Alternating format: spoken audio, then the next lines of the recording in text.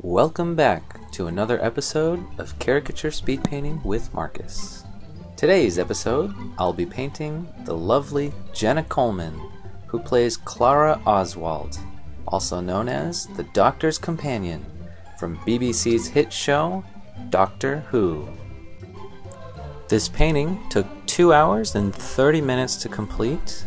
I painted it in Photoshop CS6 using a Wacom Cintiq 20 WSX and recorded it using Camtasia Studio 8. I really wanted to draw Jenna's face from the first time that I saw her appear on the show.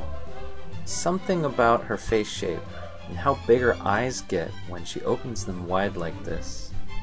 In the beginning stages of this sketch, I wasn't sure if the likeness was gonna pull through, especially because of the way I exaggerated her face shape but as I added the details later on during the rendering stage, the likeness came through. I really liked painting her nose. Most caricatures I do end up with really large noses, but she definitely has a small one, and a very unique small one. It's very angular at the tip, and it almost looks fake. But I don't know. I'm used to looking at Asian features and most Asians have round bulbous noses.